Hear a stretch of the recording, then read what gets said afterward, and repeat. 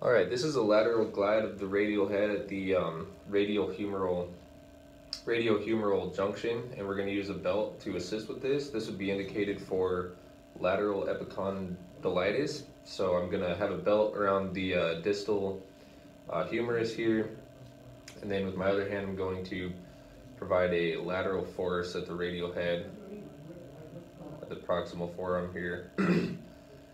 and um, I can also ask my patient to extend and flex the wrist while I'm doing this if either of those motions further decreases symptoms. And that's how you do it.